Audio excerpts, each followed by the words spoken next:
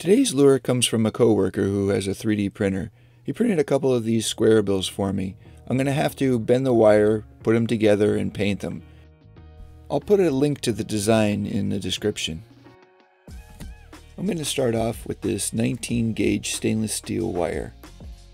I think this will be the right size for the line hookup and the hook loops. After some mm. rough measurements, I think I figured out I need about 16 millimeters.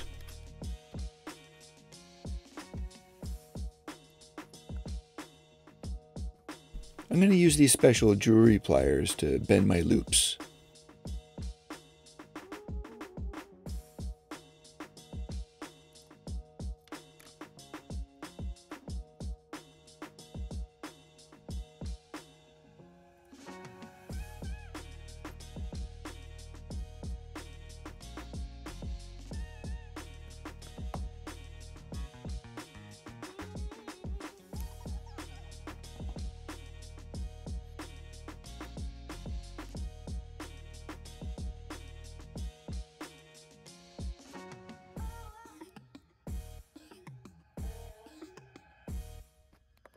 Using a marker, I'm going to mark where the next bend should be for the hook loop on the bottom.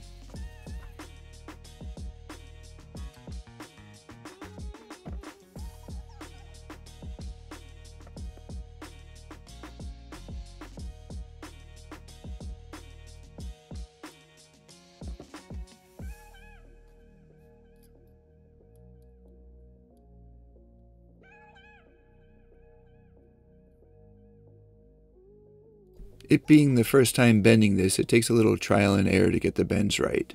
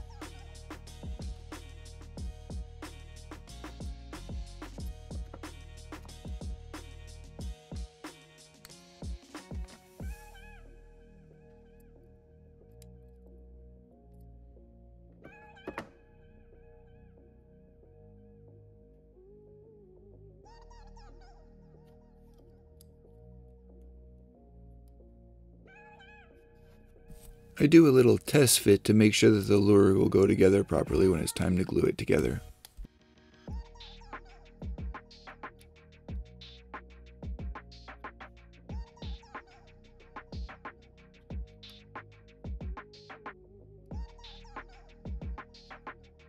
I got some stainless steel buckshot BBs from a friend. I'm going to use these to add a little weight and add some rattle to the lure.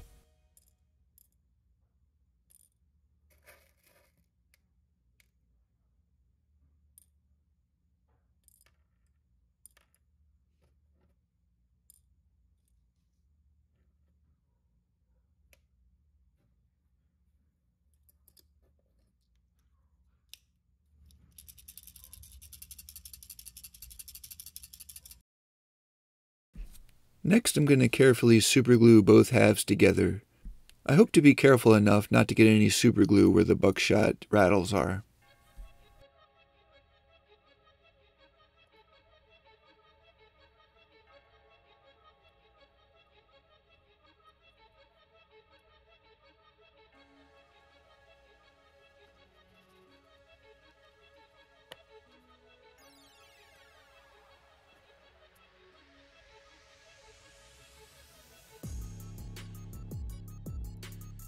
I'm going to clamp this together and let it sit for a couple hours.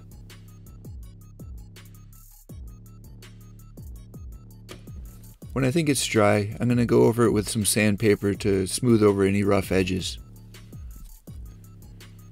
The lure does have some texture from the 3D printing, but I think I'm going to leave that as a little added character to the lure.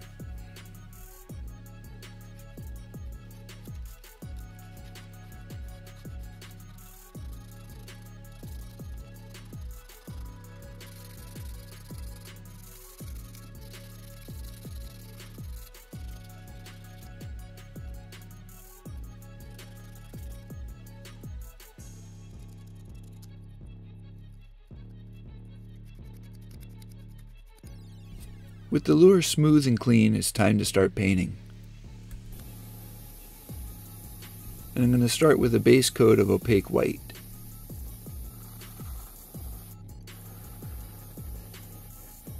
I taped off the bill of the lure and I'm putting on some opaque yellow. I'm going to use this mesh to create a scaly design on the lure.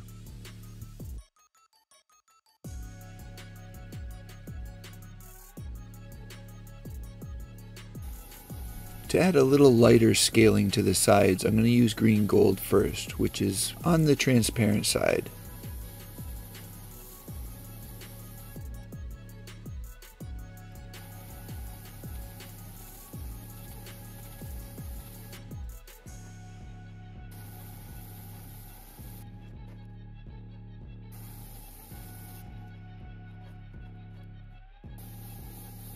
I'm then going to use a darker sap green to go over the top of the lure.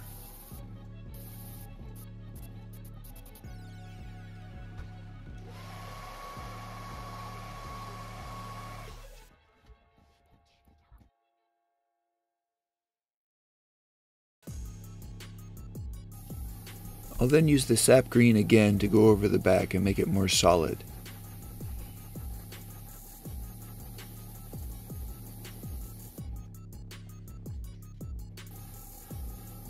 I'll then use Indian yellow, which is a more orangish yellow, and it'll blend up from the bottom.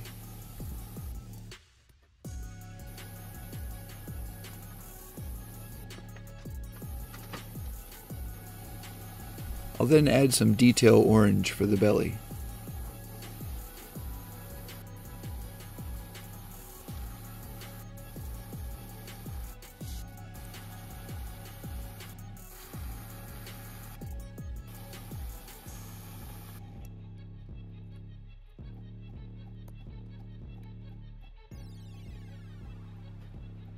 I'm going to use this stencil and some opaque black to create the gill plate.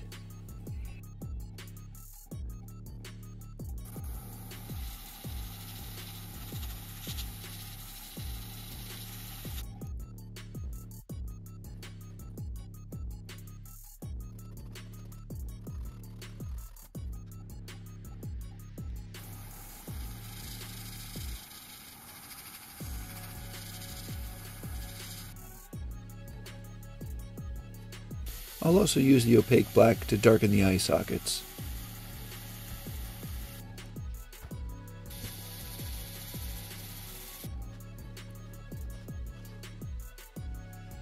It's now time to superglue and attach the eyes.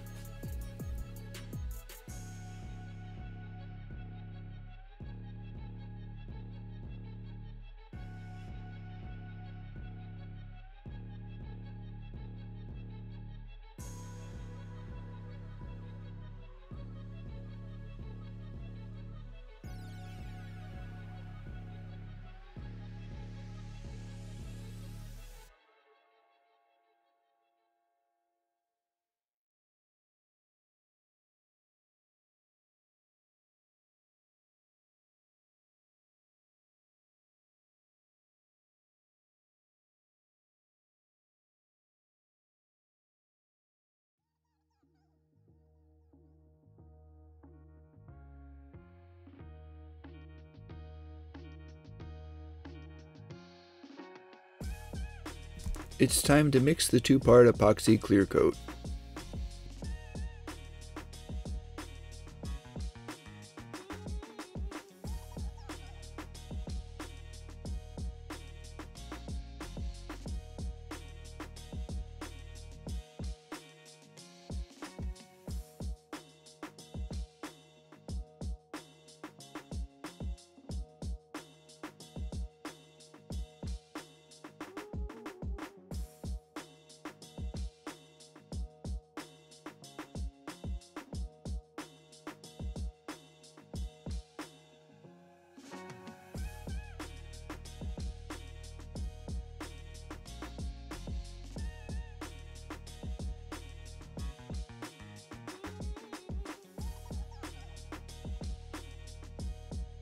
After applying the clear coat, the lure will spin for about 3 hours and then dry for 24 hours.